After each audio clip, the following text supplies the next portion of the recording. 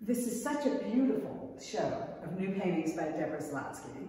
And what I love about these paintings is the contrast between a geometric, hard edge, uh, color composition, and the very kind of surreal and very, very subtle organic elements that she places in here that make you question what you're seeing. As a matter of fact, these elements are so subtle that you don't even really see them when you first look at the painting. You think, oh, this is a beautiful geometric painting. And then the harder you look, the more you see. It's like the geometric forms are living and with these organic shapes.